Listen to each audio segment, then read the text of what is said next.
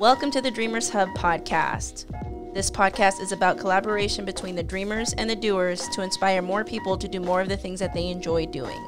This hub is focused on providing you the kick in the ass you need to jumpstart your dreams. So if you're into that kind of thing, consider subscribing. Yo, yo, yo, welcome back to the Dreamers Hub podcast. Today we're in a little bit of a different setup. We are actually in one of Jasper's offices out of the many offices that he has upstairs. one of many. yeah, one of many. Um, so we are currently out in Las Vegas uh, and we basically linked up to be able to create content, obviously in person. And also do stuff for the podcast, uh, creating merch and some back end stuff. So uh, keep an eye out for that because it is coming fairly soon, or by the time you listen to this, it's probably already out. Um, but as far as today's topic, um, we are going to be talking about normalizing internet friends and relationships. Yes. So uh, we kind of wanted to get into it because we basically met on the internet via a yeah. mutual friend. Yeah. Um, shoot, like five, six years ago, maybe. I want to say probably a little bit longer than that. If I want to say yeah, probably, yeah it's years. been it's been a long time. Yeah. Now I know for most people, meeting people on the internet sounds kind of weird, um, but realistically, I think it's kind of like the new wave now. Like you kind of you kind of I don't know, like that's that, that how most people meet nowadays. Um, pre-pandemic, um, maybe even now, like more effective during the pandemic. People are yeah. trying to find their tribe online. Basically, we wanted to get into basically how this came about and how you can maybe initiate meeting friends, right? Um, this is not on no like thirst trap bullshit. This is more of like meeting friends that you want to connect with and just building relationships online. And so I think I I've uh, told you before as far as like uh, how you initiate it, being an extrovert and you're an introvert, yeah, right? Yeah. Um, how I would initiate most of my uh, friendships online is just by sliding in the DMs in a non creepy way. Creepy way. yeah, in a non creepy way, but being able to basically just spark up a conversation with anybody. Mm-hmm, mm-hmm. And then it kind of starts organically. So it's it's more so like, hey, you maybe send a fire emoji to something that they post, or yeah. maybe you send I don't know like shit that's dope, or you know what I mean. Like you kind of yeah. initiate the conversation that way. That's how I've done it. Um, and again, it's not on some like thirst trap shit. It's just you showing genuine appreciation for what that yeah. person is posting. Mm-hmm. Um, for me, have you had any success besides me and you, right? yeah. yeah. Uh, meeting other people online, or how do you feel about? Well, what do you mean, like as far as like meeting in person, or just meeting? No, just online? creating relationships Friends. or friendships yeah, online. I yeah. mean, networking online has been easier. Like you said, I'm an introvert, so that's how I connect with people. I don't do people outside in the real world. um, yeah, it's always been easier for me to be myself behind like the phone, computer, and not in like a weird like catfish way, but it's just I'm more comfortable that way. Yeah. Cuz I don't really I know for extroverts you guys get like regain energy from being social like in real Yes. Yeah. Mm-hmm. And I'm not like that. I recharge by being alone and and that's how I create networking through online. I've always done it since back in the AIM days. AIM. Oh my God. Did you ever have uh, Messenger? Hotmail Messenger? That was before I never AIM. used that. No. That was, yeah, you had a at Hotmail type of email. I had a Mes- Hotmail, but I don't think I ever used the Messenger. Yeah, they had Messenger, and then AIM came about, and oh. then the Sidekick came about. Mm, Sidekick, yeah. That's how I've always met people online. Online yeah through through the aim pretty much yeah i think it's pretty interesting to see that like i think some people now feel a little bit more comfortable with creating internet friends or whatnot mm-hmm. uh, because it's not always like around you locally right so mm-hmm. i think one of the reasons why people reach out or when i i reach out most of the time is because i feel like that person in a weird way uh, we align on certain things so mm-hmm. like I, I can fuck with somebody via online based on what they're posting and kind of based off how you feel them out. Now I'm not saying like you add somebody and immediately I'm like DMing that person yeah. or like, hey, what's up? You know what I mean? Like yeah. I'm saying like gradually throughout the years of get like seeing what that person's about and mm-hmm. you can kind of get an idea of what that person's about and kind of like feel out their energies. Mm-hmm. To see if like you're really gonna vibe. Yeah. Should it ever come about that you come across them Mm-hmm. or, you know, maybe you collaborate with some things, then at that point, you know, that that'd be something different. But that would be my general like suggestion for people is like you've probably been following and vice versa with other people for a very long time. And sometimes you can admire people from afar Mm-hmm. and then for me, it's like, well, why don't you ever like reach out to that person? Like, you guys are about the same shit. Like, you guys should reach out to each other and like chat. I think there's like a fear when it comes to that, at least for me. Like I Mhm. know for you, it's probably easier, just like, hey, what's up? But, but for me, I like overthink because I'm an introvert. I don't know, maybe that's just my own shit. Like, I mean, it is easy, like you said, just send a emoji. Send that fire something. emoji. Yeah, I'm telling you, the fire emoji. I mean, I'll try that and see what happens. But, um, but yeah, I think when it comes to like collabing and stuff, it's just like the timing, timing of Yeah. things, and just a mutual agreement. Like if we're, I mean, for us, it's like we started vibing and then we collab, and like here we are today. We're doing all this shit together. Right. Can you cuss? I don't know. Yeah. um, and we're doing all this shit together now. It's like a, like we both just keep vibing and just build off of each other's energy Yeah. and it's mutual. Like if today, say like I wasn't as ambitious or motivated, and you're coming um, at me like let's collab, and I'm like, mm, then that's like kind of like push back. yeah. No, Yeah. that's true. Timing is a big thing too, I think. Yeah. And obviously everybody's going through their um you know, their own journeys and stuff and Mhm. kind of where they're at in life. And sometimes the energy I'm bringing to the world is not aligned with other people. So if your Mhm. energy wasn't aligned with what the fuck I'm doing right now, Mhm. like this probably wouldn't be happening for one. Yeah, But yeah, in the case that, let's say, for those listening, in the case that you do follow somebody that you admire, or at some point you would uh, like to meet in like a friend zone type thing, like I feel like it's, I feel like, well, I keep saying that because I feel like a lot of people think of DMs in like a very like thirst trappy way, uh, hook up and like a hookup yeah, type.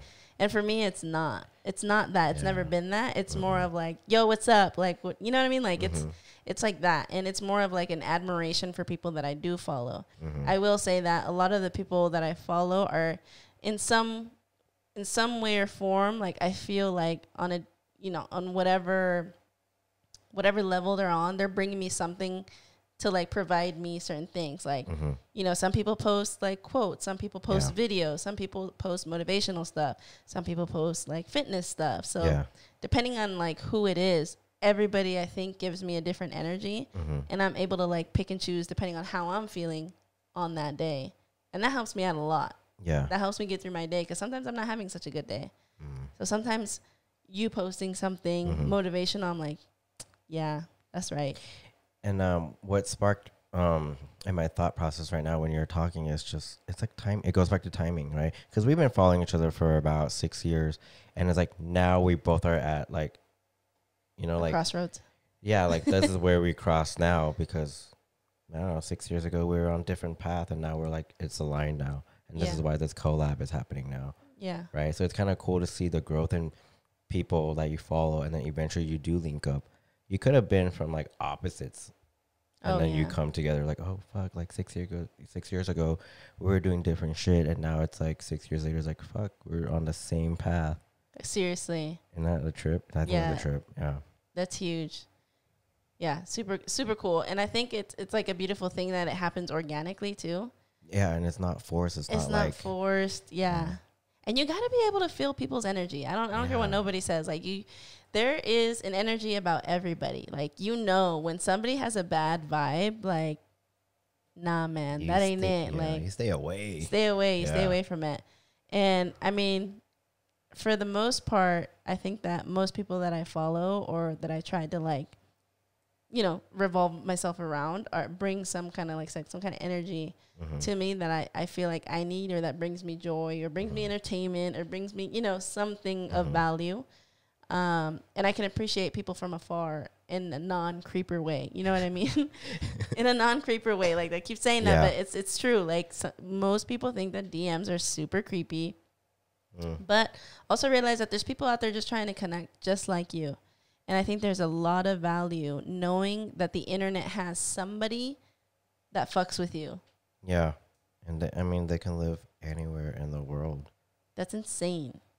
that's yeah that, i think that's really crazy but that's like where the best friendships can come from. Yeah. Yeah. And like I said, it's not forced. Like it just happens naturally, and that's when you know it's like legit.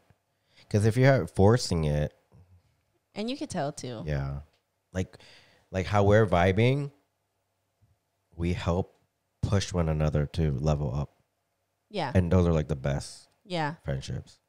I think that that can be, well, one, social media can be a cool thing where you can find that vibe, Mm-hmm. um, and also a downfall because if I'm following a bunch of negative people that are posting all their drama online and flashy mm. shit, and mm-hmm. it cr- it creates this like stress. Yeah. like and and that's for, i think that's for everybody like the stress that comes with trying to live up to quote unquote your instagram name or your instagram life. Like i get it. Most people post like Mm-hmm. you know their highlight reel of the best moments.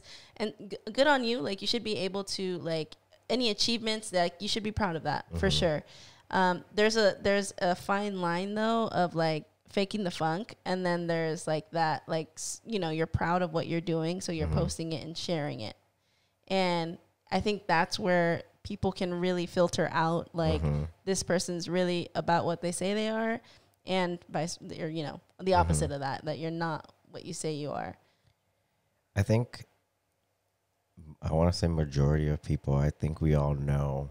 We can tell. Like we're not all easily bought, yeah and um, and if you are like you're in it, I don't know. For it's also yourself, right? If you consume that kind of stuff, yeah you got to be yeah you got to be really mindful also of who you're following because it can like it subconsciously does affect like your moods Mhm. um it could affect just like your mental health. your mental health a Mhm. lot.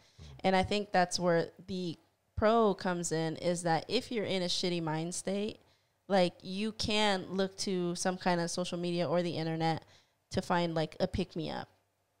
Mhm. Um, and if you're in a shitty mind state, you can also find that too. You know what I mean? like that's that's gonna be there. Like so, be mindful of the people that you're following too, because yeah, it really does matter. Be mindful of who you're following and also be mindful of what you're liking and what you're scrolling through. Because I mm-hmm. don't know if you know this, but the algorithm, what you're liking, what you're scrolling through, is what it's going to continuously show you so you could stay on the app longer. That's how it works. Mm. So if you like a pair of sunglasses, that motherfucker's Oh, gonna fuck. keep showing up for the next month until you buy it. Now that you said sunglasses watch, I'm gonna have that in my feed. Sometimes I feel like you could think it and it's gonna start showing up on your feed. It's scary. Yeah, it's scary. It's scary. I was gonna go back to saying, um, you know, like that saying people say, like your vibe attracts your tribe. Yes. So I think that's like depending on what you put out too. Yeah. Yeah. Because if you're faking the funk, then you're gonna attract fake people too. I feel like Yeah. I'm not about that life. I'm not either. That's too much. But coming back to um, that real friendships can form. Online. Oh, for sure. I think the fact that um, you know, we were talking about mental health, like yeah, it it that's one of the pros that like you don't have to feel lonely because there is somebody out there um, that will fuck with you, that'll help you, that will, you know, will have that there is a friend out there somewhere that matches your energy, that's willing to be patient with you, maybe willing to help you out with whatever. Like there's there are those people, you got to put yourself out enough yeah, to meet those people hmm and and that's where like sliding into the DM might come Mhm. in, you know, like depending on what that person is posting, like that's when you know, like oh shit, like if it's something that you really want to touch on, you really will reach out to that person. yeah. And I will say, if you double, like if you, you know, think overthink the situation, yeah, then that connection maybe will never eventually happen.